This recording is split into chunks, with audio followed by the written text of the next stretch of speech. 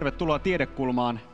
Minunkin puolestani Helsingin yliopiston puolesta. Minä olen Ville Blofield ja toimin tänään tämän keskustelun vetäjänä. Tämä Tiedekulma on mainio paikka. Täällä näihin asiapitoisiin afterworkeihin aina valuu sali täyteen ihmisiä.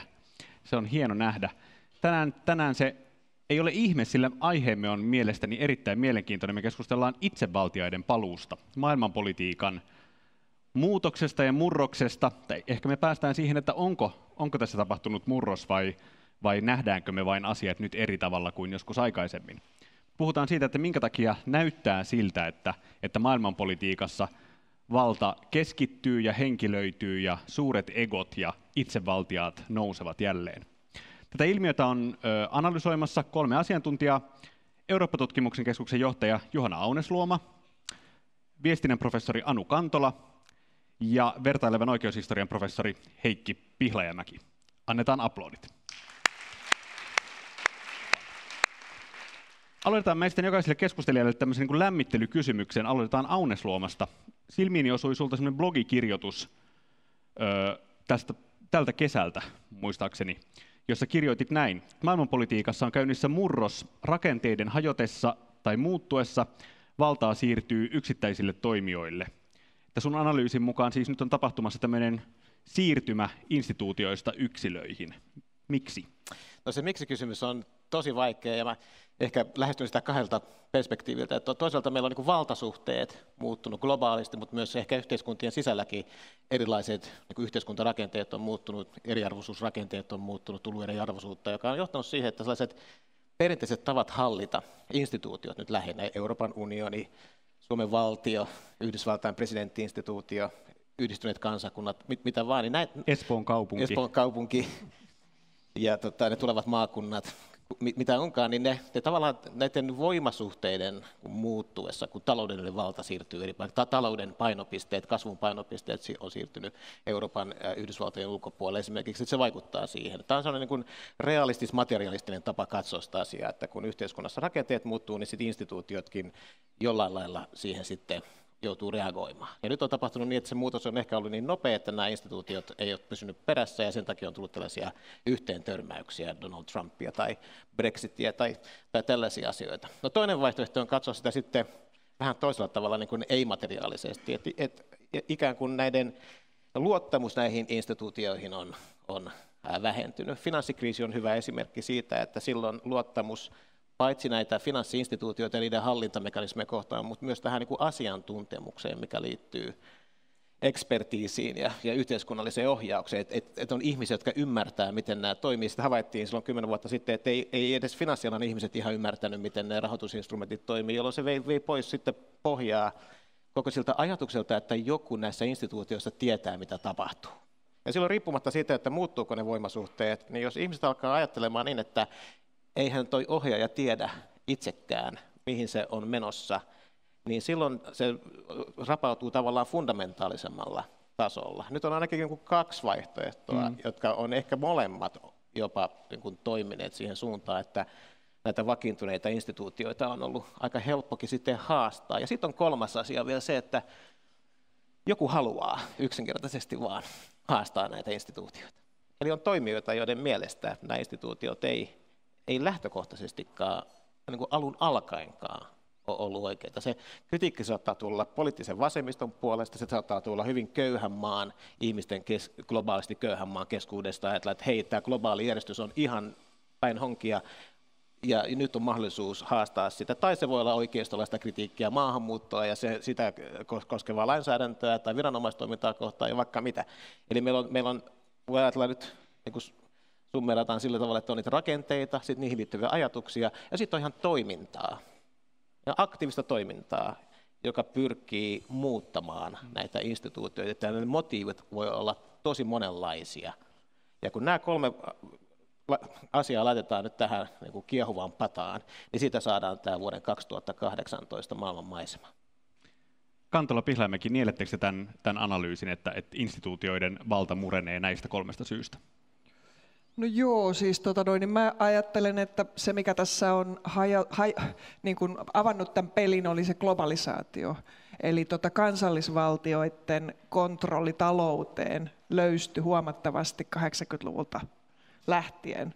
Ja tota, meidän myös tuotantorakenteet on muuttunut, että, että tota, poliittiset järjestelmät on aika paljon perustunut sille isolle työväenluokalle, joka oli tietenkin niin kuin teollisti tota, länsimaat varsinkin 1900-luvulla. Ja nyt sitten niin tämä teollinen, meilläkin, mä just kattelin käppyrää, jossa sanottiin, että Suomessa on de, duunareita, teollisuuden työntekijöitä enää 14 prossaa. Ja, ja tota noin, niin sitten palveluja on taloudesta tällä hetkellä 80 prosenttia. Niin meillä on tapahtunut tämmöinen valtava muutos, ja se näkyy meidän puoluerakenteessa sillä tavalla, että ennen meillä oli nämä porvarit ja duunarit ja farmarit, kolme isoa luokkaa, ja sitten väännettiin keskenään, mutta siinä kansallisvaltiossa kuitenkin. Mm. Ja tota noin, niin nyt tämä koko puoluejärjestelmä on isossa muutoksessa. Ja sitten tämä globalisaatio tuottaa uudella tavalla voittajia ja häviäjiä. Eli ne, jotka pärjää siinä globaalitaloudessa, kone, tyyppiset firmat ja niiden työntekijät, ne tienaa entistä enemmän, mutta sitten ne, jotka ei pärjää, joiden ammattikuvat tai koulutus tai työkyky tota, onkin semmoinen, että sitä ei enää tarvita, niin he putoo. Ja tässä ollaan niin kuin tämmöisessä mun mielestä isossa paineessa, ja se liittyy juuri tähän, mitä Juhana kuvasi, että, että tota noin, niin tulee mun mielestä tällaista näistä rakenteellisista muutoksista tulee poliittista levottomuutta. Eikö muuten välikysymyksenä, kun mä kuvasit tätä puoluekentän muutosta ja kansallisvaltioiden niin kuin tämän ikään kuin himmelin murtumista, niin eikö ole mielenkiintoinen ilmiö tuossa rinnalla se, että meillä on tämmöinen uusi globaali ää, aateryhmä, joka on nationalismi. Niin glo- globaali trendi, joka sitten jotenkin ihmeellisellä tavalla kuitenkin toimii näiden vanhojen kansallisvaltioiden tota, systeemissä. Joo, tai se ei ole mun mielestä mikään tota, niin kuin yllätys, koska sit historiaa voi katsoa sillä tavalla, että meillä oli 1800-luvulla globalisaatio, kun pääomat silloinkin vapautettiin 1800-luvun lopulla, ja oli suuret imperiumit. Ja sitten tota, ajauduttiin talouskriisiin ja aj- ajauduttiin toiseen maailmansotaan, kun Saksan keskiluokka romahti, ja, ja tota, jälki oli tietenkin kamalaa toisessa maailmansodassa. Ja sen jälkeen sitten päätettiin, että okei, nyt tarvitaan valtio takaisin, ja luotiin nämä hyvinvointivaltiot toisen maailmansodan jälkeen. Ja nyt sitten 80-luvulla taas katsottiin, että okei, tämä valtioprojekti, tämä nyt nuupahti ja valtiot on pysähtyneitä ja meidän täytyy vapauttaa taas markkinat. Ja sitten vapautettiin markkinat. Mm. Mutta mun mielestä nyt tavallaan tapahtuu ihan loogisesti, että ihmiset huutaa, että ei, että, on, että nämä finanssipääomat kiertää ympäri maailmaa ja, ja, ja tämä globalisaatio aiheuttaa liikaa turbulenssia, että tota seis maailma. Ja nyt taas palataan niihin kansallisaatteisiin, että Mä, mä niin kuin näen sen mm. jotenkin ihan semmoisena loogisena. Pihlamäki, onko sun mielestä val, val, valtioprojekti nuupahtanut? No ei se missään tapauksessa on nuupahtanut. Siis mä katson tätä niin oikeustieteellä tätä asiaa, niin on ihan selvää, että vaikka meillä on kuinka kansainvälistyvä oikeusjärjestelmä jatkuvasti siis joka, joka suhteessa, meillä on Meillä tulee ihmisoikeudet, jotka eh, viedään joka paikkaan maailmaan, samoin tämä koko talousrakenne kaipaa oikeudellisia järjestelyjä. On paljon tällaista transnationaalista oikeutta, niin kuin sanotaan, joka levittäytyy joka puolelle pikkuhiljaa. Mutta eihän se ole koko totuus. Siis edelleen suurin osa meidän normistosta kaikissa näissä valtioissa tuotetaan joka tapauksessa kansallisesti. Tietenkin voidaan ajatella, että no mitä se tarkoittaa, että ne tuotetaan kansallisesti. Se normiaineessa on ollut aina kansainvälistä siitä huolimatta, mm. mutta niillä on kansallinen legitimiteetti. Ne tulee kansallisista parlamenteista edelleenkin. Et siinä mielessä niin tässäkin näkyy tavallaan, jos katsoo historiajuoksusta tässä pitkällä, pitkällä aikavälillä, niin siinä on koko ajan sellainen jännite näiden kahden tekijän välillä. Toisaalta nationalismi, toisaalta globalisaatio. Ja tavallaan, että ideat, ideat on ylirajaisia, mutta no, toteutus on... Ideat on ylirajaisia ja joskus ne liikkuukin aika vauhdikkaasti, niin että niillä kansallisvaltioilla ei käytännössä ole ehkä mitään, mitään sanottavaa siitä, kuinka ne liikkuu. Tämä on tosiaan 1800-luvun ilmiö, jotain globalisaatio. Jotkut tutkijat sanovat, että se on jo 1500-luvun ilmiö ja tietyllä tavalla se voidaan vetää vaikka Roomaan asti. Että se on ihan totta. Tässä voi ajatella silloin, jos niin yhdistää nyt niin kuin, niin kuin näitä kahta pointtia, Anu ja Hekin pointtia, voi ajatella, että globalisaatio on ikään kuin tyhjentänyt sitä kansallisvaltiota sellaisista niin kuin konkreettisista, mutta myös merkityssisällöistä. Ja sitten siihen on jäänyt sellainen niin kuin kuori, joka on tämä oikeudellinen muoto. Ja nyt sitten no. sitä, sitä tyhjentynyttä kansallisvaltiota on aika helppo täyttää vanhoilla tai uusilla ajatuksilla. Ja meillä on nämä kuoret usein, kun puhutaan instituutioista tai valtioista, jotka on, itse asiassa näyttää ihan hyvältä. Mm kauempaa katsoen, mutta sitten kun katsotaan läheltä, niin nähdään ne säröt ja se tyhjyys siellä sisällä. Ja kuoret on kansalaisille tärkeitä. Niillä on joku symboliarvo. No kun ne kuoret edelleen kantaa sitä, ja, ja ne kuoret pitää sisällä. Voi ajatella, että kun se valtio on olemassa ja ne lait ja se tietty siitä systeemistä tietty osa toimii, mm. niin se voidaan ottaa omaan käyttöön mm. myös. Siitä voidaan tehdä uusi Unkari mm. esimerkiksi, aika mm. lyhyessä ajassa. Mm. Anu, sä kirjoitit, ei ole montaakaan vuotta, kun kirjoitit kirjassa Matala valta, että näitä niin suuria trendejä, että pakkovalta ja, ja semmoiset niin voimakkaat hierarkiat on väistymässä pehmeän vallan ja tasa-arvoisen yhteiskunnan tieltä. No, kaltaiseni maallikko voisi nyt esittää kritiikin tai argumentin tämän sun, tämän sun kuvan rinnalla nyt, kun katsotaan tämän hetken maailmanpolitiikkaa, että ei tämä nyt hirvittävän pehmeältä vallalta ja niin kuin tasa-arvoisilta yhteiskunnilta vaikuta nämä ilmiöt, mistä me tänään itseval- itsevaltioiden nousussa puhutaan. Joo, tota, se mun, mun tota, matalavaltakirja, niin se katsoi niin kuin vallan tyylejä äh, 50-luvulta tuonne 2000-luvulle, tai vuoteen 2000 suunnilleen.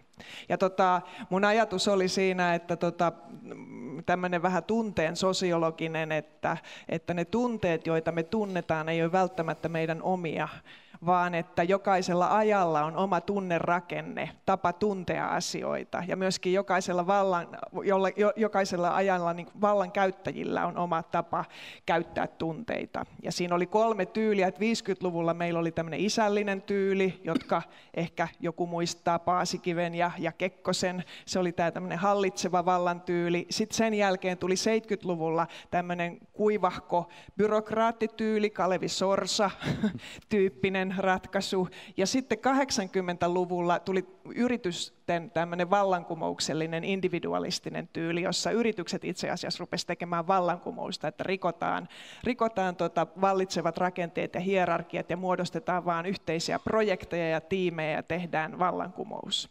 Ja tähän päättyi se mun Matala valta-kirja, jossa mä itse asiassa katon aineistona on Suomen Kuvalehden ja talouselämän tota, päättäjien haastattelut. Ja sitten nyt tietenkin, kun aika tässä kuluu, niin mä rupesin katsomaan sitten eteenpäin, että no mit, mun idea oli, että tota, nämä tyylit vaihtelee niin, että, että tota, jokaisella tyylillä on tämmöiset hyvät tunteet, mutta siellä on myöskin pimeä puoli jokaisella tyylillä, joka sitten aiheuttaa ahdistusta niin, että sieltä nousee seuraava tyyli.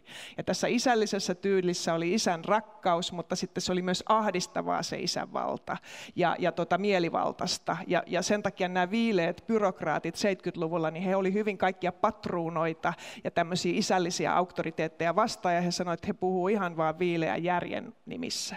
Ja sitten taas kun he puhuvat vaan viileän järjen nimissä, niin heilläpä ei ollutkaan sitä tunnetta ja innostavuutta siinä. Ja sen takia tämä 80-luvun yritysjohtajat, kun ne oli niinku tämmöisiä innostuneita, niin, niin, tota noin, niin he pystyivät sitten ottamaan vallan taas. No nyt sitten se oli musta niinku jännä, että no, että mitä sitten tapahtuu, että tota, jos tää, jääkö tämä ikuiseksi tämä vallankumouksellinen tyyli vai ei. Ja mä jatkoin sitten sitä Suomen Kuvalehden ja talouselämän ihmisten katsomista nä- tähän päivään. Ja tota, näin niin kuin tutkijana, kun tuolla kammiossa istuu ja lukee vanhoja lehtiä, niin siellä vaan harvoin tulee semmoisia niin hienoja hetkiä, mutta sitten kun mä sain ne luokiteltua tähän päivään asti, ne eri tyylit, että mikä on niin tämä seuraava tyyli vuoden 2005 jälkeen, niin mulla tuntui semmoinen värinä tota, Nyt koko sali odottaa nyt, mikä se on. kun mä katsoin sitä käyrää ja sitten kävikin niin, että se vallankumouksellinen tyyli hienosti jatkuu vuoteen 2008 asti, ja sitten kun tuli vuosi 2008, niin vallankumouksellinen tyyli kääntyy laskuun, ja sieltä nousee uudelleen tämmöinen isällinen tyyli. Ja tota, sitten mä menin kahville ja onnittelin itteeni. Että nämä, siis, et, et, nämä itsevaltiat, joista me tänään nyt keskustellaan, ne on siis aikamme representaatioita isästä. Joo, että, että mun mielestä siinä selvästi niin kuin näkyy, että, että tota, se talouskriisi kun tuli, niin nämä tämmöiset innostuneet yritysjohtajat, heistä tulikin yhtäkkiä vakavia ja myöskin poliitikoista tuli vakavia. Et se oli jännä, että monet poliitikot alkoi esiintyä is, isinä ja, ja, tota, että, ja, he, ja että he ottaa niin kuin nyt tilanteen hallintaansa ja on semmoisia jämäkkiä ja vahvoja. Ja se on minusta ihan hauskaa, että tämmöinen tunnerakenteen muutos näkyy siis näissä meidän vaatimattomissa suomalaisissa poliitikoissamme jopa tämmöisessä aineistossa, joka sitten mun mielestä kuitenkin on näkynyt, tai mistä me nyt itse itse asiassa puhutaan tässä. Heikki nyökkäilee siellä. Mm. No varmaan tärkeää on se, että näitä asioita tarkastellaan vähän pidemmällä, pidemmällä aikajaksolla. Et jos me katsotaan ihan näitä viimeisiä vuosia, niin okei, me voidaan ehkä puhua, että tietyssä osassa maailmaa on, tapahtuu tällaista auto, autokratisoitumista, mutta jos me tarkastellaan sitä pidemmällä tähtäimellä, niin tilanne on tietenkin ihan toinen. Toisen maailmansodan jälkeen kaikki tämmöiset liberaali, liberaalia oikeusvaltio tavallaan merkitsevät indikaattorit, nehän on ollut jyrkässä nousussa. Viime aikoina siinä on ollut pientä notkahdusta, mutta pitkällä tähtäimellä suunta on oikein hyvä.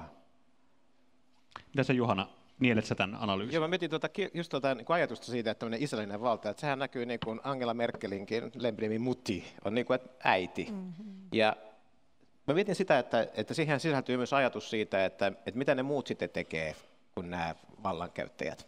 Ja jos on tämmöinen kuin isä- tai äitimetafora, niin sehän tarkoittaa, että siellä on lapsia sitten tai että jos on tämmöinen niin kuin vallankumouksellinen yritysjohtaja, niin siellä on niin kuin seuraajia tai fanittajia. Että se sisältää aina niin kuin ajatuksen myös siitä yhteisöstä, joka on siinä vallankäytössä mukana tai kohteena tai jotain. Ja, ja tota, tämä on kyllä aika hyvä ajatus tämä 2010-luku, mm. niin kuin, että tässä ollaan niin kuin isät, äidit ja lapset. Mm-hmm. Eikö, se, eikö finanssikriisiin juuri liittynyt tämmöinen ajattelu itse asiassa, että, että niin kuin pankit ja niin kuin Wall Street pitää panna kuriin, valtioiden pitää ottaa niin kuin ikään kuin uudelleen se se niin kuin isän ja äidin rooli suhteessa näihin niin kuin, tota, pikkujuppeihin, joilla oli noussut päähän. Mm. Joo, jos siis ajattelee tätä Make America Great Again, tai We Want Our Country Back, niin, niin niissä on niin kuin molemmissa jotenkin semmoinen hyvin vahvan johtajan kaipuu, että, että nyt, ja siis esimerkiksi Amerikassahan se, se tota, äh, asuntolainojen kriisi, niin siellähän romahti monilta, meni säästöt ja asunnot alta, mun mielestä hiukan mm. sama, sama kuin Saksassa 30-luvulla. Ja, ja tota, tavallaan, niin kuin, että ihmiset, joilta viedään, keskiluokkaiset ihmiset, joilta viedään elämänikäiset säästöt, niin, niin kyllä he niin kuin kaipaa, että joku panee asiat järjestyksen. Tai sitten Venäjä on toinen hyvä esimerkki mm. tietysti, että Venäjä tota, siellä sen jälkeen, kun tuli tämä kommunismi kaatu, niin sehän ajautui vähän niin kuin kaaukseen ja sitten olikarkit vei sieltä nopeasti keräsi itselleen omaisuudet. Niin tavalliset ihmiset, joiden niin kuin suuri huoli on usein se, että miten he niin kuin arkipäivässä saa asiat luistamaan ja näkevät sen korruption niin kuin poliiseissa ja virkamiesten tasolla, niin tavallaan minusta on ihan ymmärtävää, että he haluaa niin kuin jonkun vahvan johtajan, mm. niin kuin Putin on. Mutta tämä on jännä ajatus, tämä kurinpalautus tai tämä, miten reagoitiin tähän 2008 tilanteeseen, koska siihen niin kuin eri, eri maissa sit kuitenkin otettiin aika erilaisia, erilaisia suhtautumistapoja. Yhdysvalloissa itse asiassa nämä, niin kuin, nämä finanssikonnat niin pääsi kuin korea veräjästä. Että siellä itse asiassa valtio silloin ensivaiheessa ei ottanut kauhean aktiivista roolia siinä niin kuin kurinpalauttajana. Kuten esimerkiksi Britanniassa valtio otti. Siellä pistettiin näiden palkkakattoja ja aika tiukkaa sääntelyä siellä, mutta lopputulos on molemmissa maissa ihan sama. Ne on tällä hetkellä isossa myllerryksessä, että sillä ei, ei niin kuin pidemmällä aikavälillä ollutkaan siitä kovin suurta merkitystä, että minkälaisen strategian siinä omaksuttiin. Nyt on Yhdysvalloissakin tämä, tämä sentimentti muuttunut, mm. mutta tämmöinen ajatus tästä niin kuin, tämmöisen murroskohan jälkeisestä kurin palautuksesta niin varmaan liittyy tähän käsityksiin johtajuudesta ja vallan, vallan käytöstä, mm. että, että kriisiä täytyy seurata jotakin. Heikki, eikö se liity myös meidän oikeustajuun, tämmöinen kurin palautuksen ajatus? No kyllä, se varmaan, varmaan siihenkin jollain tavalla liittyy, mikä se oikeustaju nyt sitten ikinä onkaan, että se on niin heterogeeninen ja hankala käsite kuin, kuin koskaan voi olla, mutta, mutta ehkä se on näin, että ihmiset kaipaa, että, jollain tavalla pitää näiden maksaa sitten takaisin näiden, mm. näiden roistojen tekemisistä. Voi olla näin. Mä mietin, mulla on, mä kirjoittanut tänne kysymyksen, jonka ajattelin esittää sulle. Katsotaan, että onko tämä täysin, yleisö voi jännittää kanssani, että, että meneekö tämä täysin ohi vai, vai otatko kopin. No. Kun, kun tota, jälleen näiden kysymysten maallikkona, niin mä mietin sitä, että meillä on tämmöisiä nousee tämmöisiä autoritaarisia johtajia. Hmm. Ja ainakin nyt länsimaissa niin he nousevat kuitenkin niin kuin demokratian keinoin. Niin onko, näetkö, näetkö mitään problematiikkaa tämmöisen niin kuin hyvin autoritäärisen johtajan niin kuin sen vallan legitimiteetillä? Että voiko, voiko demokraattisesti saatua valtaa käyttää miten vain? No No joo, sanoisin sillä tavalla, että riippuu hyvin paljon varmaan siitä, siitä perinteestä, siitä taustasta. Ehkä mä katson näitä aika paljon historioitsijana siinä mielessä, että mä, mä jotenkin ajattelen niin, että, että, että joka paikassa, joka maassa sanotaan, on vähän oma, oma perinteensä ja, ja oma kulttuurinsa tuollaisissa asioissa. Ihmiset sietää eri tavalla asioita. että jos jossain sanotaan länsimaisessa äh, perinteisessä demokratiassa, miten perinteisesti kaikki on, eihän mikään demokratia oli sata vuotta vanha, mutta se on jo aika pitkä aika, niin ollaan ehkä vähän herkempiä normaalisti sellaiselle, sellaiselle tota niin, äh, selkeästi oikeusvaltion rajat rikkovalle toiminnalle. Muuten, se on, muuten asiat kyllä saattaa mennä. Mutta sitten toisissa maissa, jossa, jossa, jossa on pelkästään olemassa oikeusvaltiollinen kuori korkeintaan, niin kuin vaikka Venäjällä, mutta ei samanlaista perinnettä ikään kuin siitä, että näitä tosiasiassa noudatettaisiin näitä, näitä sääntöjä, niin siedetään paljon enemmän. Et mä uskon vähän tämmöiseen polkuriippuvuuteen tässä, mm. että, että mennään aika pitkälti sillä samalla, saman, saman perinteen mukaisesti, kunnes sitten tapahtuu jotain todella mullistavaa, mikä voi tietysti sitten kääntää sen polun jonnekin toiseen suuntaan. Eli toisaalta länsimaissa varmaan ollaan herkempiä kuin, kuin Venäjällä tämän, tämän, tämän tyyppisillä jutuilla. Se, missä se raja sitten tulee vastaan, niin se on varmaan taas se talous. Et niin kauan ihmiset sieltä aika paljon, kun leipää on pöydässä. Mutta sitten mm. kun, sit kun se loppuu ja huomataan, että kaikki muukin on pielessä, niin sitten voi tapahtua jotain drastisempaa. Mä näin mielenkiintoisen käppyrän tota, joitain päiviä sitten Venäjän kansantalouden tai Venäjän valtion budjetista ja siitä, että, että mihin siellä on panostettu viime vuosina tai viime vuosikymmenellä. Ja kaksi momenttia, jotka, joissa, niin, joissa panostus on pidetty, ja ne, on, ne oli tota, puolustusmenot ja eläkkeet ja kertoo minusta juuri tästä, että mihin tavalla, mille se, mille se valta rakennetaan. Joo, kyllä. Niin koska se myös autoritäärisen vallan käyttö, niin ihan niin ääritapauksissa jopa diktatuuriinkin täytyy olla jollain lailla legitiimiä. Ja me oletetaan, että ainoastaan demokratiassa tämä legitimiteettikysymys olisi olennainen, mutta se on ihan kaikkeen vallankäyttöön liittyy. Tietysti se, niin kuin se jossain, jossain, jossain Pohjois-Koreassa nyt se legitimiteettikysymys on huomattavasti pienemmän piirin hmm. keskinäinen sen neuvonpidon asia kuin, kuin sitten taas Venäjällä, mutta Venäjälläkin se Putinin asema täytyy olla legitiimi jollain tavalla, ja sitten se legitimoidaan jollain muulla keinolla kuin, kuin sitten esimerkiksi tämmöisessä hyvin toimivassa demokratiassa. Että jotain sinne täytyy hmm. laittaa myös sinne niin asiakkaan puolelle. Ainakin pitää olla legitimiteetti niiden silmissä, jotka viime kädessä kontrolloivat asevoimia. Hmm. Mm, niin. Siitä on hyötyä. Tämä ollaan niin vallan minimissä tässä. Jos me puhutaan itsevaltioiden, itsevaltioiden noususta maailmanpolitiikassa, niin, niin sitten me puhutaan myös henkilöitymisestä ja henkilöbrändeistä. Tota, onko niin, että, että ai, ai, aikamme maailmanpolitiikka on henkilöityneempää kuin ennen, vai onko meillä jälleen tämmöinen nykypäivä harha tässä? No kyllä se varmaan on sillä lailla henkilöityneempää, että nämä poliittiset ideologiat on niin myös sääntynyt. että, että se liittyy juuri mun mielestä ennen kaikkea siihen työväenluokan ja vasemmiston kriisiin sitä kautta, että ei ole enää niin voimakkaasti sitä, sitä vasemmisto-oikeisto tota, ideologiaa ja luokkia, jotka olisi niiden ideologioiden kantajia ja takana. Ja, ja tota, se mun mielestä aiheuttaa sitä, että jos me nyt katsotaan vaikka Suomessa, niin meillä enemmistö äänestäjistä on tällä hetkellä liikkuvia äänestäjiä, mm. että he on vaihtanut puoluetta vaaleissa. Ja kun ihmiset liikkuu koko ajan eri ideologioiden välillä, niin tota, puolueet sitten joutuu miettimään, että mitenkä erottua. Ja, ja tota, usein se sitten käy se erottuminen sillä, että sieltä nousee Juha Sipilä tai, tai tota, ketä sieltä Touko Aalto. Juha Sipilä oli se ihminen, joka tuli mieleen näistä jo. henkilökulteista. no, mutta sitten se tietenkin näkyy näissä myöskin täällä niin kuin maailmanpolitiikan tasolla, että ei ole ehkä enää niin, jos me ajatellaan siis kylmän sodan aikaa ja Neuvostoliittoa, niin ehkä ehkä tota, varttuneimmat muistaa ja nuorimmat on nähnyt kuvia siitä Kremlin tota noin, niin paradirivistä, jossa Brezhnev ja kumppanit niin kuin seiso siellä. Et siinä ei ollut semmoista henkilökulttia, joka mm. olisi keskittynyt yhteen ihmiseen, koska heillä oli se kommunistinen ideologia siellä. Me puhuttiin tota, etukäteen siitä, että, että, tota, tavallaan, että on semmoinen ehkä historiallinen ero, että on tietenkin ollut kuninkaita ja keisareita ennenkin, mutta tota, he ovat, vaikka he ovat olleet yksilöitä, niin he olivat instituutioita. Joo, tässä on niin iso ero, ja tämä oli hyvä, kun toit, toit tämän esimerkin näistä Kremlin muurilla seisovista vanhoista herroista, että he, he oli kuitenkin, totta kai he olivat itsenä, heillä oli nimet, mutta he edusti instituutiota. Ja voi olla, että ihminen ehkä näki, ihmiset saattoi nähdäkin siinä ensimmäiseksi sen instituution ja sitten vasta sen ihmisen. Nyt me halutaan nähdä ensiksi se ihminen ja sitten se instituutio. Ja tässä on kyseessä niin kuin ihan aito muutos. Ja tämä on, itse ajattelen tätä asiaa semmoisella ehkä noin 4-50 vuoden aikaperspektiivillä, että siinä aikana on tapahtunut vähittäistä kehitystä, joka on johtanut siihen, että me ehkä halutaan nähdä vallankäyttäjät henkilöinä. Ja voi olla, että, että se on tuottanut, median muutos on sen tuottanut. Voi olla, että me halutaan tuntea ne henkilöinä, koska me ollaan kiinnostuneimpia siitä. Me halutaan, kontro- me halutaan tietää, mitä ne tekee, minkälaisia ihmisiä ne koska demokratia vaatii semmoista läpinäkyvyyttä.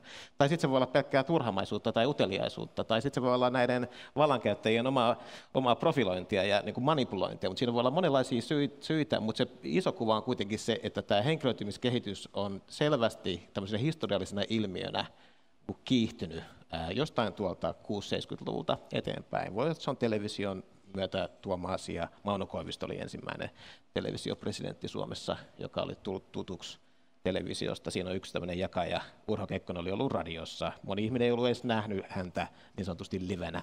Koivisto oltiin nähty jo mm. niin kuin henkilönä. Että tällainen iso kehitys on. Ja mä olen sitä mieltä, että se on historiallisesti itse asiassa niin kuin merkittävä juttu, koska Aikaisemmin ei ollut tapana, että ihmiset olisi välttämättä tunnistanut vallankäyttäjiä kadulla tai että olisi tiedetty, miltä ne kuulostaa. Tämä on aika iso muutos, minkä, minkä viestintä on, on tuonut, että me voidaan niin seurata vallankäyttäjiä radiossa tai jossain muualla. Että suurimmalle osalle ihmisiä 1900-luvun alkupuoliskolla vielä, niin vallankäyttäjät oli aika kaukaisia mutta se instituutio oli tärkeä. Ja sitten kun mennään ajassa taaksepäin, niin, niin tämä tulee yhä etäisemmäksi tämä suhde siihen henkilöön. Mm. Ja se, sieltä se, niin kuin se suorastaan jumalainenkin kultti vaan nousee suuremmaksi, kun ollaan antiikin ajassa, niin siellä on se kolikon kääntöpuolella oleva, mm. oleva pää, joka on ainoa asia, joka muistuttaa, koska ei siellä antiikin Roomassakaan kuin muut, sellainen kourallinen ihmisiä, jotka oli siinä keisarin ympärillä, niin oli, oli sen tavannut joskus. Mm. Ja tämä on tota iso tällainen niin kuin murros, ja, ja nyt se on jollain lailla jännässä vaiheessa. Että mä oikein tiedän, että missä vaiheessa se nyt on, mutta mm. tämä on, niin miten mä itse jäsennän sitä kuin historian tutkijana. Mitä Heikki ajattelet tästä henkilön ja sitten henkilöityneen instituution suhteesta? No toi on mielestäni hirveän hyvä analyysi, minkä Juhana tuossa esitti. Mulla on ihan konkreettinen esimerkki siitä. Mä olen itse tutkinut jonkun verran tuomioistuinten historiaa Suomessa viimeksi esimerkiksi korkeimman oikeuden historiaa ja mä jouduin muutama vuosi sitten pieneen polemiikkiin siitä, kun mä kirjoitin lehteen siitä, minkä takia suomalaiset, suomalainen korkein oikeus ennen kaikkea on anonyymi. Kukaanhan täällä salissa, jos ei ole perhetuttua, ei osaa nimetä yhtään korkeimman oikeuden tuomaria, ettekä tekään osaa, jos ette mm. tunne henkilökohtaisesti, veikkaan. Toi, toisin kuin tuolla Amerikan Yhdysvalloissa. Niin, ja tota, mä selitin sitä, sitä sillä, että länsimaisissa demokratioissa, Mannermaa, ei, ei Yhdysvalloissa eikä Englannissa, siellä on toinen perinne, niin on tapana, että tuomari tavallaan kokee toimivansa ikään kuin lain suuna, niin kuin äh, valistusfilosofi Montesquieu aikanaan sanoi. Eli hänen persoonansa ei ole tärkeä. No se on toinen asia, että totta kai käytännössä se monella tavalla on tärkeä, mutta se on kuitenkin ideologia, joka on tällainen tavallaan länsimainen perinteinen demokraattinen ideologia. Eli tuomari ei halua tulla esiin omalla, omalla naamallaan ollenkaan perinteisesti. Mä sain tästä sit kritiikkiä, oli Matti Apuselta, joka oli vaatimassa sitten, että näiden pitää tulla ehdottomasti nyt nimellään esiin, ja tämän täytyy muuttua tämän tilanteen suurin piirtein näin. Että meillä täytyy mennä se amerikkalaisen systeemin, niiden pitää vastata nimellään lehdessä. No okei, en mä niin kuin sinänsä omassa kirjoituksessani tähän ottanut mitään kantaa, mutta on niin kuin ihan kiinnostava, mm. kiinnostava ilmiö. Tosin ei se sit siitä levinnyt kovin laajalle tämä polemiikki, mm. mutta kuvastaa tuota Juhanan, Juhanan äh, tota, analyysiä aika hyvin tämän sektorin osalta. Toi Max Weber oli tämmöinen suuri 1900-luvun saksalainen sosiologi, ja hänellä oli niin kuin kolme auktoriteettityyppiä modernissa yhteiskunnassa. Yksi nojaa perinteeseen, traditioon, tai voi olla just tämmöinen isällinen. Toinen on sitten byrokraatti, joka nojaa järjestelmään, ja oikeusjärjestelmähän on semmoinen, että se tuottaa sitten byrokraattisen, mm. koska, koska idea onkin se, että se henkilön omat as, mielipiteet ei saa millään tavalla vaikuttaa, mm. että, että se on se järjestelmä, joka tuottaa sieltä niitä oikeita ratkaisuja. Ja näitä järjestelmiä on todella monenlaisia, esimerkiksi tiede on sellainen, että tota, usein tutkijat on sen takia hyvin kuivakoita ja varovaisia, koska se on se järjestelmä, joka, jonka auktoriteettia he käyttää. Ja sitten minä on... tässä puhun, vaan se on tämä tiede. Niin, mm. niin. Mm. Ja sitten kolmantena hän esitti Weber tämmöisen karismaattisen tyypin. Ja se karismaattinen tyyppi on ehkä nyt sitten käytössä, niin kuin Juhana kuvasi, aika monissa instituutioissa, ja media on lisännyt sen mm. käyttövoimaa, että se, se tota, historiasta, niin vuonna 1956, kun Kekkonen oli ensimmäistä kertaa presidentin vaaleissa, niin siellä oli neljä ehdokasta, ja näistä ehdokkaista yksi oli sitä mieltä, että presidentin pitäisi käydä puhumassa radiossa – ja se oli Kekkonen. Että, että kolme muuta presidenttiehdokasta oli sitä mieltä, että ei pidä presidenttiehdokkaan alentua siihen, että hän rupeaa jotakin radio, radiopuheita käy, mm. keskusteluja et, käymään. Että ei viihteellisty tämä homma. Ei, ei, ei niin, että, ei, että sehän oli semmoista niin kuin herrasmiesten hommaa, politiikka, niin kuin hyvin paljon perua siitä aristokraattisesta järjestelmästä, säätyyhteiskunnasta, joka oli vielä vielä. Tota, ja, mutta sitten tietenkin tämä voi niin lyödä vähän yli, tää, tää, tota, että siis nykyään näillähän on semmoinen niin filmitähtien tai kuuluisuuksien logiikka näillä poliittisilla johtajilla, että se kuuluisuuden logiikka on se, että siinä täytyy olla jotakin semmoista pyhää ja ihmeellistä, että sä oot hyvin poikkeuksellinen, mutta siinä täytyy olla myös jotain semmoista rosoista ja sitä niin kuin oikeaa ihmistä. Ja Kekkonenhan oli Suomessa ensimmäinen, joka osasi tämän, että hän pystyi olemaan tämä suuri valtiomies, mutta sitten hän oli kuitenkin niin kuin tukkijätkä ja ryyppäs ja, ja tota, mitä nyt kaikkea tekikään. Mutta että se, se ristiriita on hirveän tehokas koukuttamaan ihmisiä, koska sitten me ihmetellään, että miten toi, kun se on noin mieletön, niin, ja sitten se on kuitenkin ihan tavallinen ihminen, ja sitä koitetaan niin kuin sitä jännitettä siinä ratkaista, että miten se handlaa ton. Tota, voiko tämä Juhanan esittämä kehityskulku jonka ehkä näemme tässä ajassamme ympärillämme, niin voiko se johtaa siihen, että se instituutio ja se henkilö täysin irtoaa toisistaan? Että, onhan, että, että Sauli Niinistössä ne edelleen ovat yhdessä. Me kaikki ajatellaan, että Sauli Niinistö on Suomen presidentin ruumiillistuma. Mutta esimerkiksi Donald Trumpin kohdalla voisin kuvitella, että moni ajattelisi, että hän ei enää, että on eri asiat Amerikan presidentti, instituutio ja Donald Trump ihmisenä ovat eri asiat, ja nyt on vaan tämmöinen erikoinen välitila, jossa, jossa tämä Donald Trump-niminen henkilö istuu sen Amerikan presidentin pöydän takana, mutta että ne jotenkin ideoina eroavat jo toisistaan. No näin, näin voidaan tietysti ajatella, ja nyt kun tuli viime viikolla se New York Timesin mielipidekirjoitus, joka oli tämä anonyymi Valkoisen talon virkahenkilö, joka siinä otti kantaa, niin sekin on hyvä, koska se oli anonyymi. Eli se oli nyt se instituutio, joka ikään kuin siellä puhui, joka on ne kaikki ihmiset siellä, siellä valkoisen talon organisaatiossa, joka luo tätä etäisyyttä siihen henkilöön. Siinä on tämmöinen niin kuin, niin kuin yhteensopimattomuus näiden, näiden, näiden välillä. Sitten me voi tietysti olla toisenlainen ääripää, jos meillä on niin, kuin niin matalan profiilin johtaja, johtaja, että se ei tunnu olevan oikein niin kuin sen instituution mittainen. Että meillä voi olla joku, joku näkymä. Tule, tuleeko joku esimerkki mieleen? Näitä, näitä saattaa tulla. Otetaan esimerkiksi nyt vaikkapa Britannian pääministeri Theresa May, joka kamppailee tämän kysymyksen kanssa, että onko hän niin kuin tavallaan johtajana siinä vaikeassa tilanteessa, nyt sen instituution mittainen. Britanniassa pääministeri perinteisesti on ollut hyvin, hyvin keskeinen vallankäyttäjä, paljon keskeisempi mm. kuin, kuin, kuin monissa muissa maissa, ihan vastaava kuin Yhdysvaltojen presidentti. Ja nyt, nyt sitä haastetaan sillä tavoin, että, että onko hän niin kuin sen mittainen, että pitäisikö se niin kuin sen pääministerin, joka ei ole se Theresa May nyt tehdä jotain va- vahvemmin ja pitää se, kun hän pyrkii sovittelemaan ja muuta. Et meillä saattaa löytyä tällaisia, todennäköisesti myös Kiinassa tämä asia on ajankohtana aina siinä, että kuinka paljon henkilöidään, ja, ja, ja nyt siellä näkyy olevan sellainen trendi, jossa ajatellaan, että henkilöimällä vahvistetaan sitä instituutiota. Mm. Eli tässä voi olla niin erilaisia, voidaan tehdä tällaista tutkijana sellaista kenttää, jossa, jos, jos voitaisiin hahmottaa näitä eri, voitaisiin piirtää vaikka nelikenttä tästä, Anu saa tehdä paremmin kuin minä, mutta että voidaan ajatella, että, että, että haetaan jatkuvasti sitä balanssia, koska se niin voittava resepti näkyy olevan sellainen, jossa nämä eri, eri johtajuustavat, johtajuustyypit yhdistyy jollain lailla ja ne toimii sen, sitä instituutiota vahvistamalla ja se instituutio vahvistaa sitä, sitä johtajuutta. Loppujen lopuksi mun mielestä tämä on, kaikki on suurta näköharhaa sitten sit loppujen lopuksi kuitenkin, koska... Hän sanoi ajassa 35 minuuttia. että, et, et, et, sitten tähän tämä on se tota, yllättävä pointti, mutta voi olla, että me katsotaan itse asiassa ihan väärää asiaa kuitenkin. Voi olla, että tämä henkilöityminen, joka on niin sosiaalinen fakta, se, sitä, se tapahtuu, niin itse asiassa se saattaa missata sen pointin. Se valta on silti siellä rakenteissa. Ja se valta on diffuusia, se on siellä sun täällä. Et ehkä tässä on kysymys vain siitä, että me aika epätoivisesti yritetään niin kun paikallistaa sitä valtaa tilanteessa, jossa se itse asiassa ei ole mahdollista. Ja tämän näköharhan takia me käydään tätä keskustelua, mitä me nyt käydään. Mutta onko tämä tämän ajan ilmiö? Vai onko, se, onko valta aina ollut ripoteltuna siellä? Se on varmaan aina, aina ollut, mutta mä luulen, että nyt on suuri hämmennys siitä, että missä se valta on. Sen takia me halutaan niin sitä henkilöidä.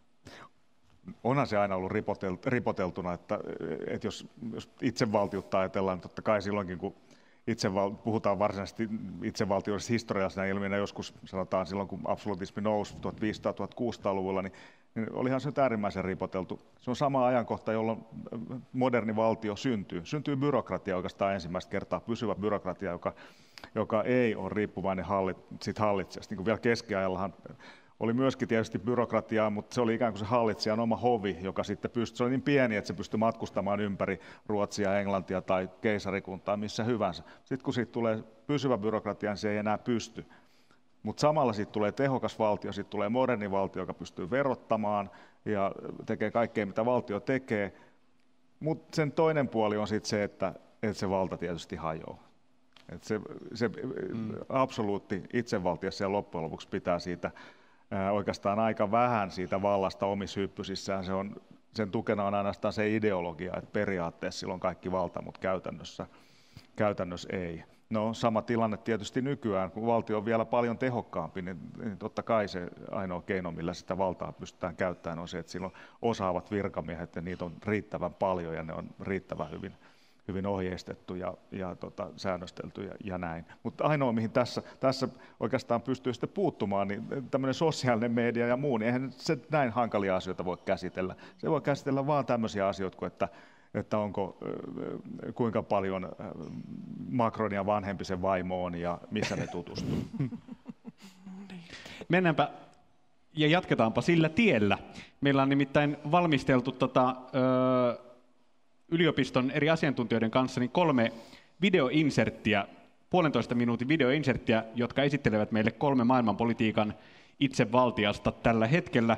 Ensimmäinen niistä itse oikeudutusti Amerikan Yhdysvaltain presidentti Donald Trump, ja hänestä esittää meille nyt analyysinsä Pohjois-Amerikan tutkimuksen yliopistonlehtori Ari Helo.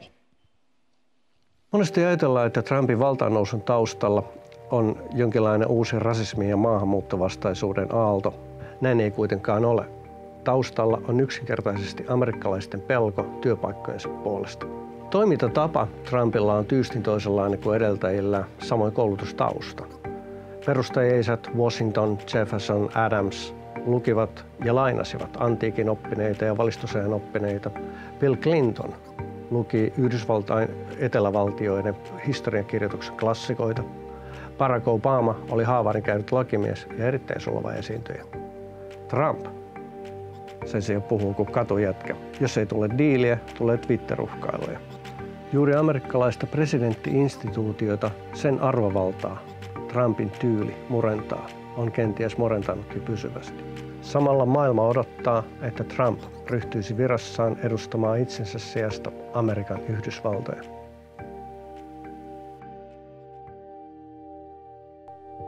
Mitäs mieltä, Anu Kantola?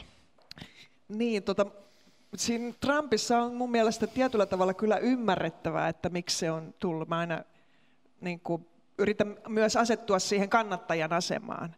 Ja Trumphan antaa niin ihmisille tällä niin kuin ensimmäistä kertaa pitkään aikaan semmoisen tunteen siitä, että he on toimijoita politiikassa että voidaan tehdä jotain. Mm. Ja se, se ei ole niin, kuin niin Vallankumous on mahdollinen. Niin, niin. Mm. ja se on hirveän tota, houkutteleva sanoma, varsinkin samaan aikaan, kun sitten politiikasta on tullut vähän tämmöistä byrokraattisten järjestelmien säätöä ja sotevirittelyä, ja, ja et meillähän on nämä hyvinvointi järjestelmät rakennettu ja ne on vähän niin kuin tullut tietylle tasolle, jossa ei voi enää tehdä kauhean valtavia uudistuksia. Ja sen takia niin kuin poliittiset uudistukset nykyään on lähinnä organisaatiouudistuksia, joka on kauhean tylsää. Mm. Ja niin, niin tota, että mä jotenkin niin kuin ymmärrän kyllä sen, että mikä, mikä siinä Trumpissa myös viehättää ja tuntuu hienolta. Ja sitten jos se on tämä, niin silloinhan se on vaan aina, aina hyvä asia, että mitä älyttömämpiä juttuja hän tekee ja mitä niin kuin rajummin hän tota, dissaa kaikki, niin sitä enemmän tulee se olo, että kaikki on mahdollista ja kyllä tässä voidaan asioita tehdä. Ymmärrätkö Juhana? Joo, mä kuuntelin just jotakin amerikkalaista radio-ohjelmaa, jossa haastateltiin Trumpin kannattajia tai republikaanien kannattajia, jotka just, jotkut suhtautuvat hänen kriittisesti, ei kannata häntä, mutta aika monet kuitenkin kannattaa. Ja sanoo, että no joo, roistohan se on, mutta hän saa asioita tehdyksi. Et se on edelleen tämä ajatus siitä, että saako asioita tehdyksi, on kyllä niin kuin ihan keskeinen tässä kuin Trump-projektissa. Ja sitten silloin vaalien aikaa, mä muistan sellaisen keskustelun, keskustelun kun oli Yhdysvalloissa silloin, silloin tota, töissä, että, että se on niin se ajatus siitä, että se presidenttiinstituutio oli jo niin kuin kadotettu. Että se monen amerikkalaisen näkemys siinä Obaman ajalla tai George W. Bushin tai Bill Clinton, ajatelkaa näitä henkilöitä, kuinka kiistanalaisia ne on, tai mm, George mm.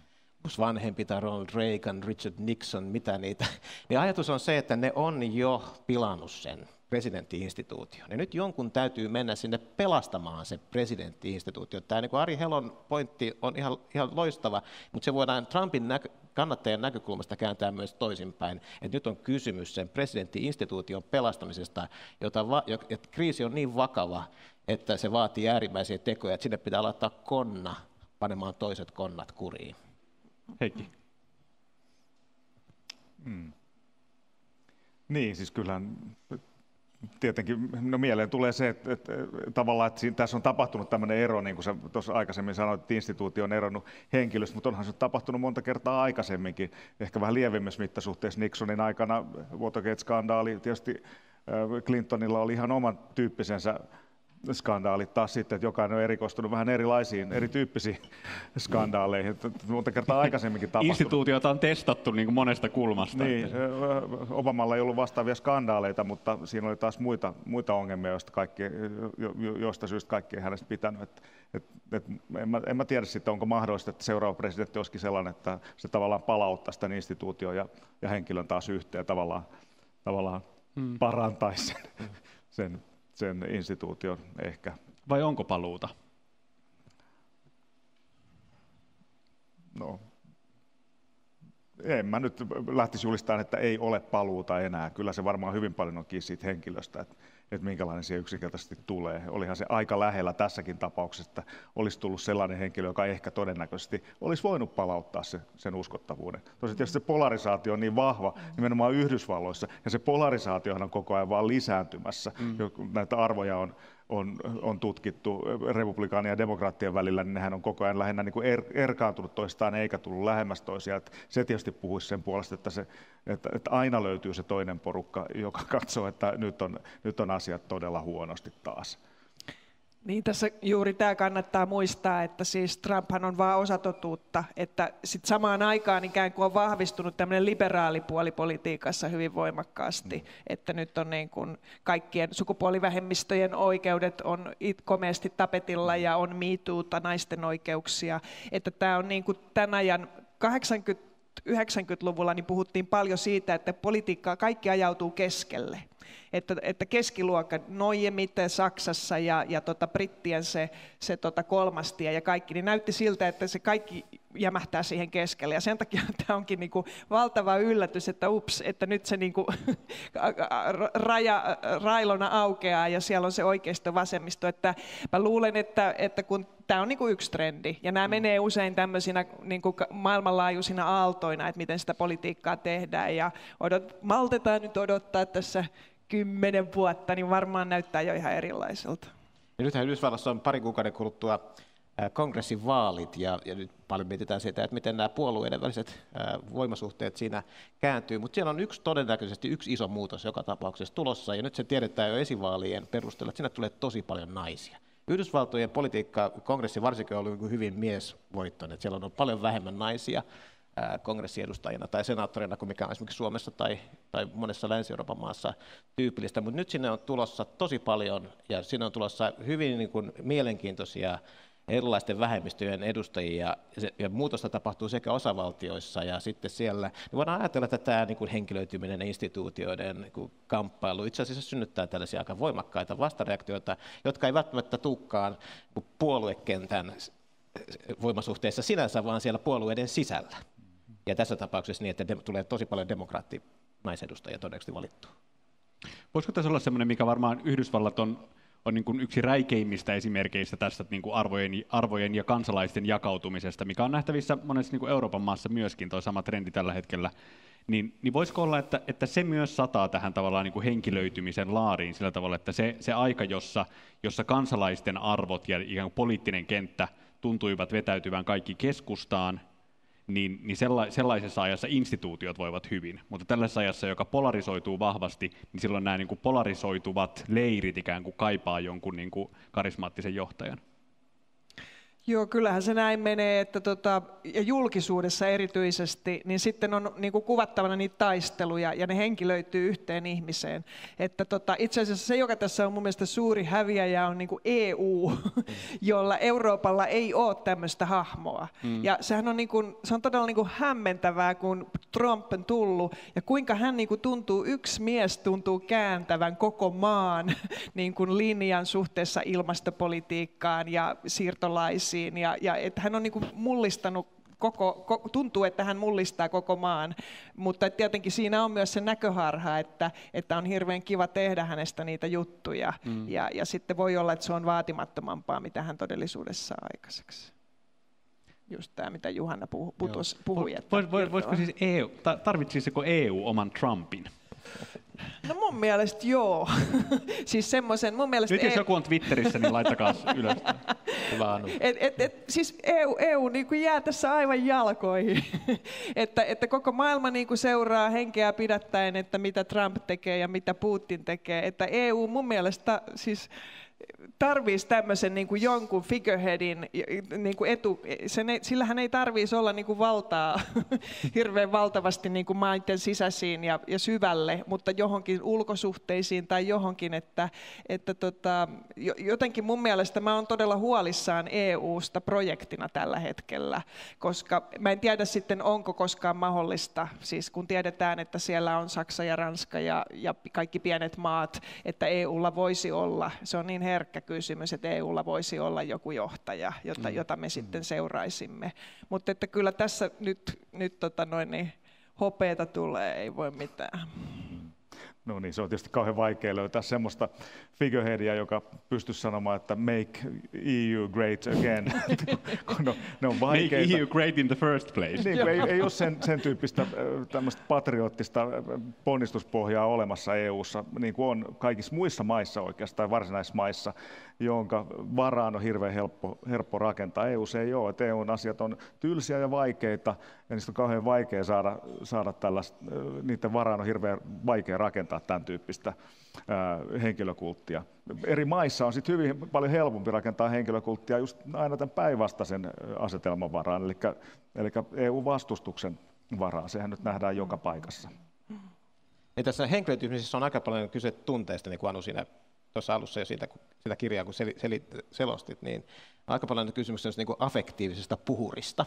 Eli me niin kuin jollain lailla halutaan niin kuin tunteiden tasolla kytkeytyä johonkin, ja se on helpompaa ehkä toisen ihmisen kanssa. Sitten toisaalta, jos arvot on keskeisiä ideologioiden sijaan, niin silloin arvothan on monta kertaa hyvin henkilökohtaisia. Et sen takia me halutaan tietää presidenttiehdokkailta tarkkaan, mitkä heidän arvot on, eikä niinkään ehkä mikä heidän ideologiansa on. Mm. Ja tässä, tässä niin kuin affektiivisessa puhurissa, niin mä olen itse mieltä, että kannattaa pitää pää tosi kylmänä. Et EU voi olla tosi tyytyväinen itseensä, sit kun tämä puhuri on ohi, että se ei lähtenyt siihen mukaan. Mm vaan se luotti vaan siihen, että me tarjotaan nyt sellainen niin kuin oikeuspohjainen, järkevä instituutio, joka on hyvällä tavalla Weberiläisittäin tosi tylsä.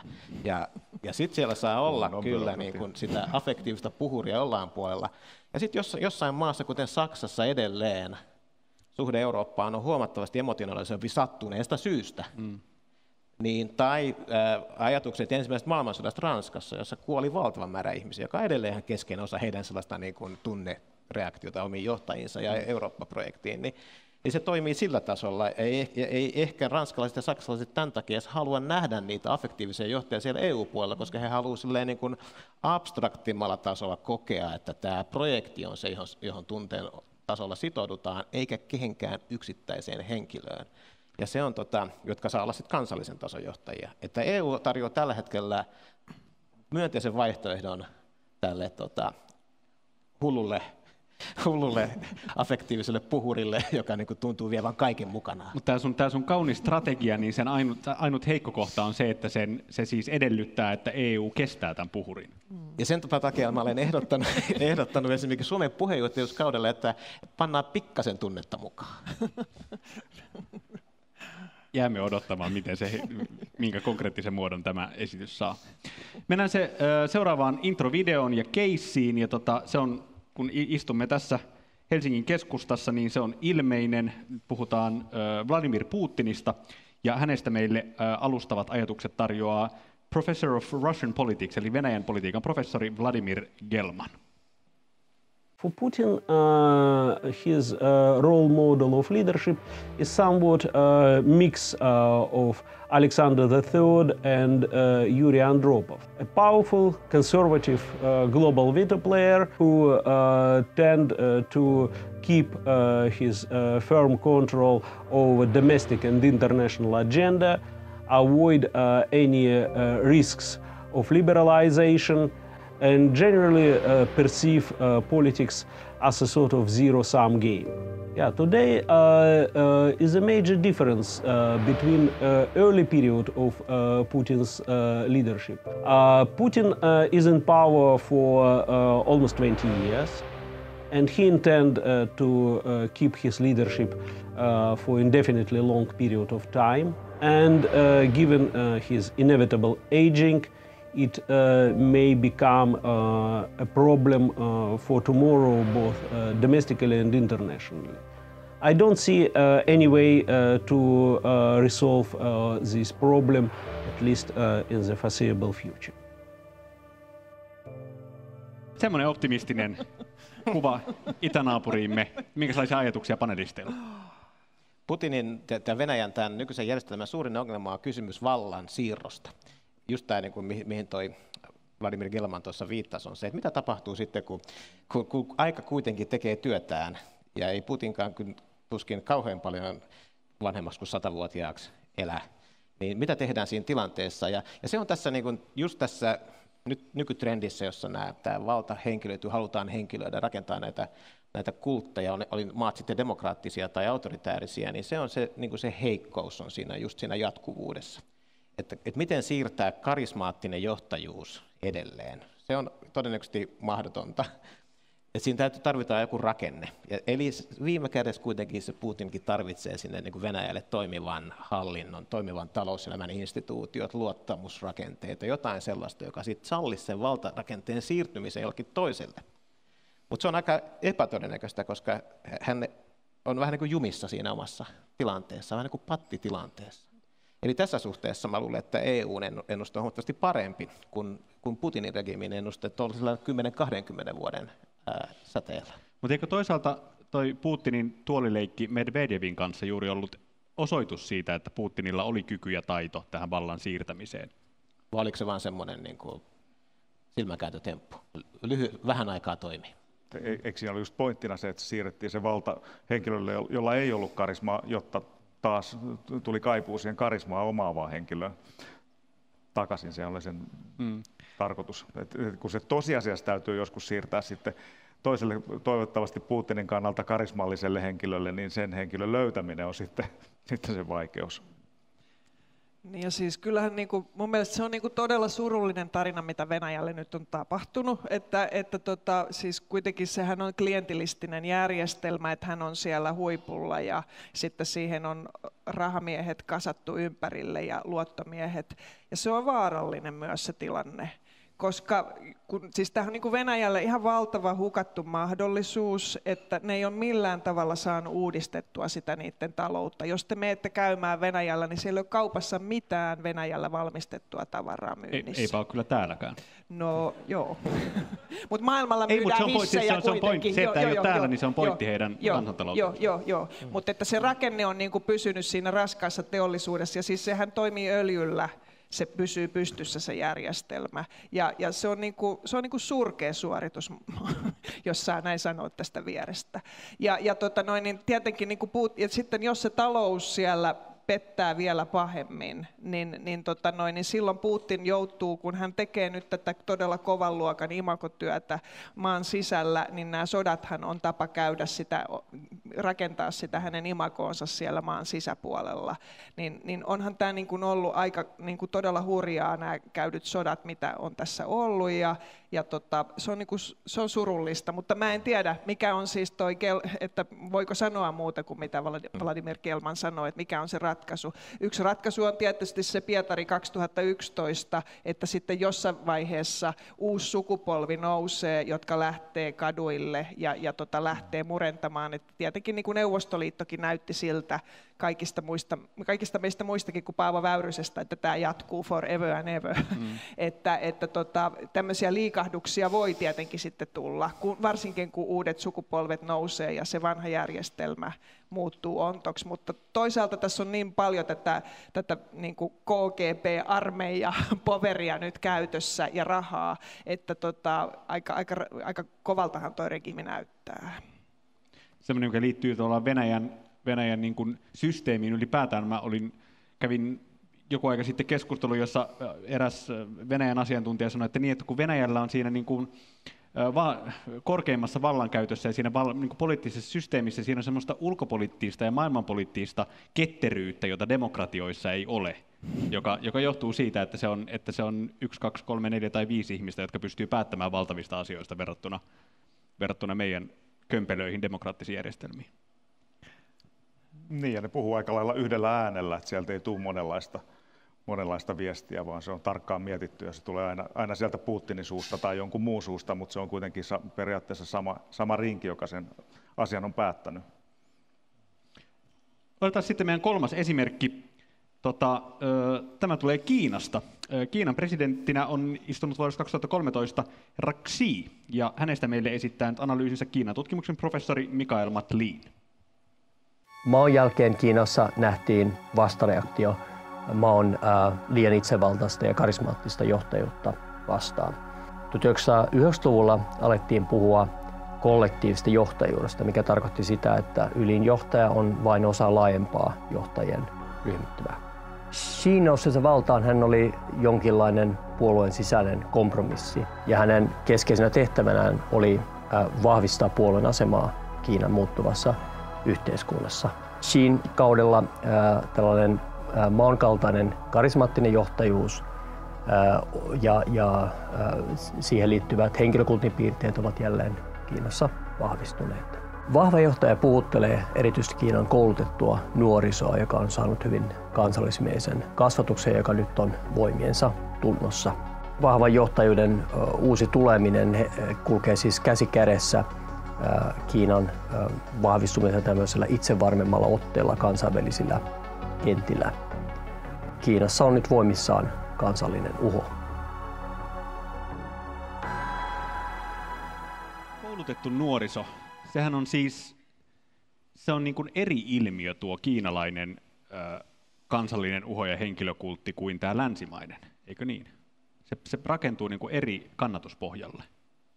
Mutta mut se muistuttaa jo, jo, vähän tuota Venäjää myös, jossa, jossa Putinilla on paljon kannatusta myös nuoremman ja myös koulutettumman vähän keskuudessa. Ja siinä on sellainen asia, joka meitä usein jää niin huomaamatta tai muistamatta, että me mietitään täällä johtajuutta tai, tai päätöksenteon toimintaa, niin me mietitään demokraattista osallistumista, läpinäkyvyyttä ja sen päätöksenteon tuloksia. Silleen. Mutta monissa maissa, varsinkin Euroopan ulkopuolella, korruptio on niin kuin se ykköshuoli. Eli ihmiset kokee, että, että kaikki rakenteet, oli ne sitten yrityksiä, viranomaisia, mitä tahansa, niin joka paikka on täysin niin kuin läpimätä ja korruptio on monissa yhteiskunnissa niin kuin se isoin huolenaihe, esimerkiksi nuori, nuorten keskuudessa, jossa sitten tällainen niin kuin joka, joka Kiinassa on korruptio iso ongelma, niin kuin on, Venäjälläkin. Ja ajatus on se, että kun se mielestäni meidän demokratia, niin siellä ei ole niitä sisäisiä läpinäkyvyyden rakenteet, jotka pystyisivät kitkemään sitä, sitä korruptiota pois, niin se, se, se, se korruptio kitketään sieltä yläkautta. Ja silloin se vaatii sellaista niin kuin vahvaa johtajaa ja voi olla, että vaatii niin kuin poikkeuksellisen vahvaa johtajaa. Kun Kiina vaurastuu ja ne, ne miettii, että miten se talouskasvu jatkuu, niin jos se koko ajan se talouskasvu menee niin kuin siellä korruption niin kuin tehottomuudessa, niin se kasvumalli ei ole kestävä pitkällä aikavälillä, jolloin voi ajatella, että ne nuoretkin ajattelee, että Xi saattaisi olla niin kuin tällä taktiikalla se henkilö, joka takaa myös sen talouskasvun, sit kun he on vähän vanhempia ja aikuisia, että kun sen talouden täytyy tulla tehokkaammaksi, kun ei enää voida vain riistää maaseudulta tulevaa työväestöä ja, ja, ja varastaa patentteja lännestä, mm. vaan täytyy tehdä jotain, jotain muuta. Se analyysi voi olla niin kuin ihan rationaalinen myös siinä, jossa, jossa sitten siitä lähtökohdasta, että miten he ajattelevat, että mikä on oman yhteiskunnan keskeinen niin kuin sosiaalinen yhteiskunnallinen ongelma. Niin Kiinahan on jännä, koska se on toisaalta niin kuin pyrkinyt liberalisoimaan ja uudistamaan sitä taloutta hirveän nopeasti. Sehän on niin kuin täysin agraarinen yhteiskunta, joka on ihan hirveällä vauhdilla käynyt sitä rakennemuutosta, mikä esimerkiksi Suomessa oli 60-luvulla. Ja, ja tota se iso kysymys varmaan on, että onnistuuko ne tahkoamaan sitä talouskasvua, jo, jo, jonka tota noin, niin vuoksi sitten kommunistinen puolue saa olla vallassa että, että tota, paljonhan ne niin kuin myös ostaa sillä talouskasvulla sitä hyväksyntää sille kommunistisen puolueen järjestelmälle. Ja, ja tota noin, niin, uh, nyt sitten just sieltä kuuluu vähän esimerkiksi, että onko siellä nyt kupla. Ja että jos se romahtaa se talous, niin kuin se nyt on huojunut, siellä on ollut kaiken näköistä huojuntaa tässä viimeisen ainakin vuoden sisällä, niin, niin tota, sitten tietenkin voi tulla niin kuin levottomuutta. Että siellähän on ollut paljon levottomuuksia esimerkiksi Mä jostain luin, että oliko siellä 70 000 mielenosoitusta näistä, kun ihmisiltä viedään maata ja rakennetaan uusia taloja. Että siellä on niin kuin ihmisillä halua ja kykyäkin tämmöiseen niin kuin poliittiseen toimintaan myöskin, ja kun se on niin valtavan suuri, niin että, että siinä on tietenkin niin kuin Neuvostoliiton hajoamisen mahdollisuus myös. Ja sen takia Xi on nyt yrittänyt olla sitten tämmöinen, hän on luonut sitä myös tämmöistä niin kuin länsimaista länsimaisen tyyppistä johtajakulttia, että hän yhtäkkiä ilmestyy Pekingissä johonkin hampurilaisravintolaan tai syömään sinne, niin kuin Obama tekee Washingtonissa. Että, että hän on niin kuin tietoisesti pyrkinyt luomaan tämmöistä menevää, menevää kuvaa. Mm. Taloushan Kiinassakin tietysti on se kaikkein A ja O. Sitten täytyy muistaa, että siellä on varmaan 200 miljoonaa ihmistä, jotka on matkustanut ympäri maailmaa ja tuntee aika hyvin siinä mielessä tilanteen muuallakin. Mm-hmm. Nyt sitten kysymys on siitä, että, että alkaako he jossain vaiheessa muuttamaan sitä perinnettä ja, ja kaipaamaan länsimaista demokratiaa aidosti, vai riittääkö edelleen vaan se, että taloudella menee hyvin. Mm-hmm. Ja sitten jos taloudelle ei mene hyvin, niin mikä on sitten se heidän ratkaisunsa, että haluatko, haluatko ne demokratian paikkaamaan sen vai haluatko ne taas jotain kovempia toimia? Ja sitten anteeksi nyt vaan, mutta jos sieltä niin kuin Kiinan Kiinan niin kuin talouskasvun ja keskiluokan näkökulmasta, niin välttämättä tämä länsimainen demokratia ei välttämättä näytä, ei välttämättä. näytä siltä kaikkein niin kuin himoittavammalta systeemiltä ja dynaamisimmalta tavalta hoitaa yhteisiä asioita. Niin, Kiinallahan on tämä vanha mytologia niin kuin Kiinasta valtavana maailmanmahtina. Ja meille itse asiassa, kun näitä nyt näitä suuria johtajia tässä katsotaan, niin meillähän voi olla vähän kaukainen se ajatus, mutta että miltä tuntuu niin, äh, olla imperiumin asukas tai kansalainen. Että me nyt ollaan täällä siesukkaita suomalaisia ja talvisodassa niin kuin aika hyvin pärjättiin, mutta silloin kun sä oot imperiumin kansalainen, niin sulla on niin semmoinen heti, niin kuin, että nyt tässä ma- maailma on hallussa. Ja se on varmaan semmoinen voima, joka sitten näitä isoja hallitsijoita myöskin kannattelee, että, että sitä ei lähdetä ihan hel- helposti haastamaan ja purkamaan. Mutta sitten kun on tehty tämmöisiä laajoja maailmanlaajuisia kyselyitä siitä, että, että miten ihmiset niin haluaa, että heitä hallitaan, niin vaikka meistä maapallon asukkaista niin alle puolet elää demokratiossa tai toimivissa demokratioissa, huomattavasti ehkä vielä vähemmänkin, niin kuitenkin ylivoimainen enemmistö haluaisi elää demokratiassa.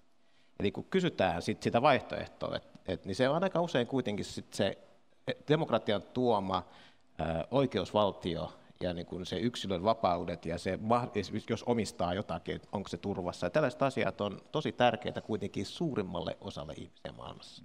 Mm. Me ollaan puhuttu siitä, että ikään kuin analysoitu ympärillämme näitä trendejä ja ilmiöitä, jotka on nostanut, nostanut näitä henkilöityneitä johtajia, autoritäärisiä johtajia, ja katsottu, että, että minkälaisia erilaisia johtajuuden tyylejä on vaikka 1900-luvulla ollut vallassa. Mikä on teidän ajatus siitä, että, että minkälaista johtajaa tämä aika tarvitsisi? Jos ei puhuta siitä, että minkälaisia johtajia me nähdään nyt ympärillämme, mutta minkälaista johtajaa me tarvitsisimme? Ja nyt saa niin toivoa. Niin. Mä en oikeastaan usko, että tässä niin medioituneessa maailmassa täysin karismaattomat, karismaattomat, tai sellaiset johtajat, joilla ei ole lainkaan sellaista kykyä puhutella ihmisiä, niin oikein enää pärjää. Et mä luulen, että nyt... By- byrokraattien aika on ohi. Niin sellaisten, sellaisten anu niiden matalan vallan, sen byro, byrokratian vähän, mä luulen, että se aika ei kyllä palaa. Ja se vaan johtuu siitä, että me, tämä läpivalaisu, jonka alasena kaikki vallankäyttäjät tänä päivänä on, niin vaatii heiltä joitakin sellaisia karismaattisia ominaisuuksia, ei liikaa, mutta jonkin verran. Että heidän täytyy kestää se valtava valo, joka tulee, joka tarkkailee heitä jatkuvasti. Ja heidän täytyy olla jollain lailla sitten, sitten erityislaatuisia persoonia, että he jaksaa ja kestää sitä menevättä sekaisin siitä. Eli heidän täytyy olla sitten tavallaan se asiantuntemus ja se, se tietty usko siihen omaan työhön, että he pystyvät siinä toimimaan. Mutta mä luulen, että nämä byrokraattijohtajat, niin ne ei, ne ei kyllä palaa. Se Anu oli tavallaan jo toive sulta se, se EUn oma henkilöitynyt, karismaattinen.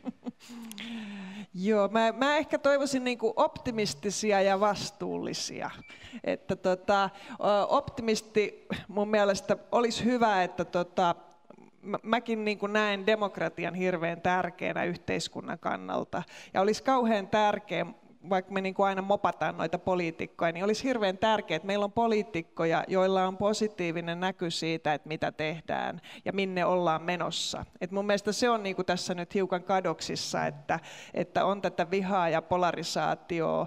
Ja, ja sitten jos ajatellaan niin kuin kuitenkin ihmisten hyvinvointia, niin tämä on vähän semmoinen win-win juttu tämä yhteiskunta, että meidän pitäisi saada kaikki tähän mukaan, niin silloin kaikki myös hyötyy. Että täytyisi olla niin kuin semmoista omaa omaa ääntä, jolla pystyy luomaan uudistuksia ja näyttämään, että kyllä tässä voidaan vielä yhtä sun toista tehdä. Että ollaanhan me niin kuin valtavasti kehitytty nämä yhteiskunnat. Me ollaan ihan toisessa tilanteessa kuin vielä 50 tai 100 vuotta sitten, että miksei me pärjättäisi mm. ja voitaisiin tehdä asioita. Että mulla on vähän niin kuin mysteeri, että miksi täällä kaikki on koko ajan vähän pääkallellaan, että ei tästä mitään tule. Itse asiassa tuohon liittyen, muistatteko sellaisen hetken, kun tota, oli Donald Trumpin... Öö, toi virkavallan vannominen, ja hän piti sen puheen Washingtonissa sen virkavallan vannomisen yhteydessä, ja, ja kuitenkin siinä tavallaan vaalituloksen ja sen valtaan astumisen välissä, niin ehti olla semmoinen, niin kuin, jos ei nyt optimistinen, niin jotenkin semmoinen keskustelu, että no, että ei tämä nyt maailmanloppu, että nämä instituutiot on kuitenkin vahvoja, ja, ja että siellä oli paljon positiivistakin siinä niin kuin kansan voimaantumisessa ja siinä Trump-ilmiössä, että jos tämä nyt kanavoi jotain semmoista hyvää, ja, ja niin kuin, ikään kuin tämmöinen diskurssi. Ja sitten tuli se Trumpin puhe, joka oli, joka oli puhtaan dystooppinen. Ja se, se, se niin kuin la, lamaantunut reaktio siihen, että, että ei, että, että tästä tässä onkin kysymys. Mutta se on mielenkiintoista, että sekään ei tappanut sitä optimismia. Et edelleen senkin puheen jälkeen monet oli silleen, no tämä oli eka päivä, huomenna on päivä uusi, että menee. Mutta mut, mut, nyt jos katsotaan taaksepäin, niin eihän ole tapahtunut mitään, mikä olisi muuttanut sitä ensimmäistä reaktiota, että tämä on kauhea aika, joka on alkamassa. Tämä presidentti tulee aiheuttamaan suurta tuhoa, oli motiivit mitkä tahansa hänen äänestäjillään tai hänellä itsellään. Tämä tulee olemaan iso disruptiivinen voima, jossa viha on se, joka ajaa eteenpäin, narsismi, kaikki niin kuin mahdolliset kuolemansynnit ja vielä muutama päälle. Ja silti ne amerikkalaiset on niin mielettömän optimistisia, että kyllä tämä tästä. Mm-hmm. Heikki, minkälaista johtajaa tämä aika sun mielestä tarvitsisi? Minusta tuo optimismi on tosi hyvä. Mä luin vähän aikaa sitten Steve Pinkerin Enlightenment Now, ja sehän on tämmöinen optimismi julistus suorastaan. Ja kyllähän niin kuin siinä tavallaan sitä taustaa vastaan, niin ilman muuta on siinä kaikki syy. Siis asiathan on mennyt monessa suhteessa vähänkin pidemmällä tähtäimellä tosi hyvin. Ihan erinomaisesti maailmassa. Köyhyys sen kun vähenee ja okei, okay, rikkauskin vähän vähenee ja on, on pieniä ympäristöhaasteita tietysti ja muita ongelmia, mutta monet asiat menee todella hyvin. Et siinä mielessä olisi syytä olla optimisti ja samaan aikaan myös totta kai asiantuntija, jos tässä nyt asiantuntemusta omaava henkilö, tässä nyt saa toivoa. Ja ennen kaikkea semmoisiin maihin tietenkin, jossa, jos asiat ei ole ihan hyvin, hyvin kuin, yhtä hyvin kuin täällä. Mm. Koska mä oon myöskin ilman muuta sitä mieltä, että länsimaiset ää, liberaalit arvot vaan joka puolelle maailmaa. Se on minusta aivan selvä asia. Mä en ollenkaan kuulu siihen porukkaan, joka ajattelee, että no ne on meidän arvoja, että ei niitä, niitä pidä väkipakolla viedä, viedä sellaisiin maihin, joihin ne ei kuulu. Ne kuuluu kaikille. Ihan niin kuin Juhana sanoi, suurin osa maailman ihmistä myös haluaa ne. Tämä voi kuulostaa kulttuuriimperialistiselta, mutta ikävää. Juhana Aunesluoma, Anu Kantola ja Heikki Pihlajamäki, mä esitän teille viimeisen kysymyksen, joka on sama kaikille. Pyydän teitä nimeämään yhden maailmanpoliittisen tai ylipäätään johtajan, joka on viime aikoina yllättänyt teidät positiivisesti. Naiset ensin. No Angela Merkel. Että mun mielestä Merkel oli ihan ryhdikäs tässä, tota, tai on ollut niin kuin, mä, en, mä en niin kuin tajua, että miten se on pysynyt siellä niin pitkään. Ja hänellä on niin semmoinen eleetön tyyli ja, ja tota, nyt myös mun mielestä oli vastuullinen tässä pakolaiskriisi kysymyksessä ja, ja tota, joutui todella kovaan paikkaan, mutta mä niin kuin olen ruvennut arvostamaan häntä, että mun mielestä hän on aika hyvä poliittinen johtaja. Heikki. Pitäisikö nyt keksiä joku toinen sitten? Saat, jos sun perusteet on omat, niin saat No, äh, sanotaan vaikka Macron Eurooppa-myönteisenä henkilönä. Tämä oli hyvä kysymys. Mulla löi tyhjää tosi pitkään ja se varmaan kertoo minusta enemmän kuin kysymyksestä, mutta tota, mä, mä mietin, että miksi on vaikeaa löytää tällaisia. Sitten mä katsoinkin, että hei, ei katsota valtiota, katsotaan kaupunkeja ja Pariisin pormestari Anne Hidalgo tuli mieleen ja hänen toimintansa näissä näiden terroriskujen jälkeen semmoisena moraalisena johtajana, tai sitten Sadiq Khan Lontoon pormestari 2016 eteenpäin, minkälaisen, minkälainen rooli hänellä on niin Britanniassa. Mutta sitten mä kuitenkin ajattelin, että mennään perinteisesti, otetaan YK pääsihteeri Antonio Guterres, joka on nyt ollut puolitoista vuotta tehtävässään ja todella profiloitunut minusta hienolla tavalla sellaisena niin kuin poikkeavana esimerkkinä. Tietenkin tuo sen YK on, arvovallan, mutta jotenkin toimii hienosti siinä niin kuin YK pääsihteerin roolissa, puhuu tulevista konflikteista ja, ja, ja vastuusta ja toimii niin kuin tosi hankalassa tilanteessa olevan maailmanjärjestön pääsihteerinä. Ja mun mielestä niin kuin tämä ekat puolitoista vuotta hänellä on osoittanut, että tuli kiinnostava portugalilainen sosialisti valittua sen järjestön johtajaksi. Lämmin kiitos paikalla oleville streamin katsojille ja keskustelijoille.